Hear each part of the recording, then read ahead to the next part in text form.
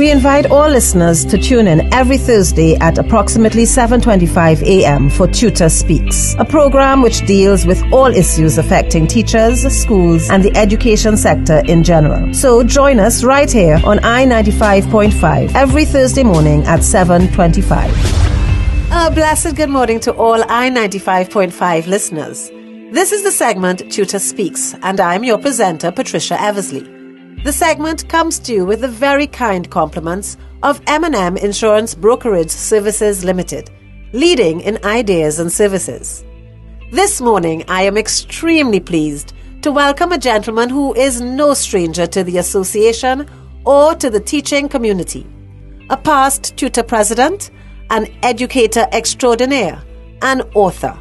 This morning, he is here in the capacity of Program Coordinator of Moms for Literacy and is none other than Mr. Trevor Oliver.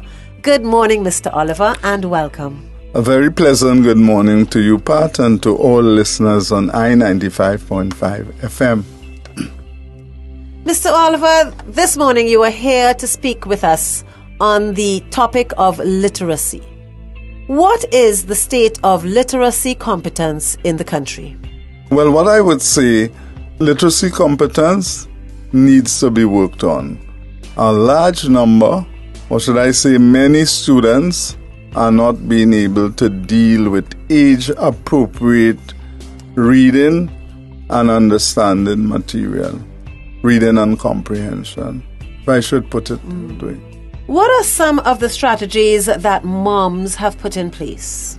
Well, first of all, one of our major strategy really is to teach parents how to be tutor so they can tutor their own children and so there can be a nexus between what is happening at home and what is happening at school and the children therefore would be the children will be greater recipients to um, what would I call it um, a greater recipient to quality education which is the most appropriate word I'll find here why is there an urgent need to improve literacy competence in schools and, by extension, the country?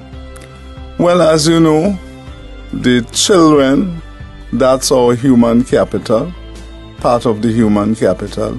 And it's very, very important that we focus on quality education for them, for learning, positive learning outcome, quality learning outcomes, as they develop so that they can make contributions that can help in the development of the country.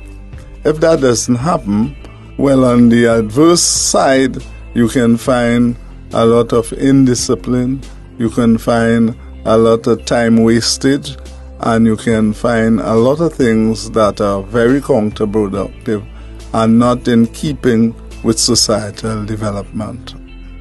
Final question, Mr. Oliver. Are you happy with some of the efforts being made by different sectors of the society? Certainly, because any effort that is positive is applauded by Moms for Literacy and my good self. The, the thing about it is that um, things are moving too slow. You know, I have had discussion with Mr. Garcia with a view to collaborate with the ministry. They are doing some wonderful things, but of course, moving at snail space.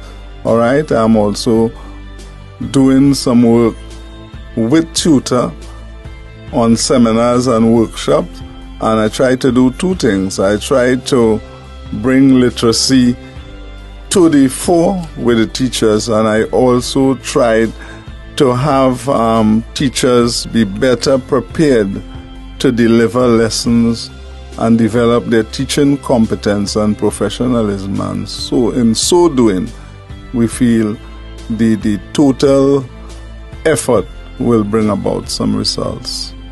Thank you very much, Mr. Oliver, for spending time with us this morning and sharing some of your wealth of experience and knowledge here with us today. I look forward to the time when I can invite you back again and we can further extend this discussion on literacy. Thank you kindly, Pat. This has been TTUTA Speaks. You can contact us at gensec.ttuta at gmail.com or telephone us at 645-2134 or contact TTUTA's President Mr. Lynsley Doodhai at 681-8057. Once again, contact us at gensec.ttuta at gmail.com Phone us at 645 2134 or phone Mr. Doodhai at 681 8057.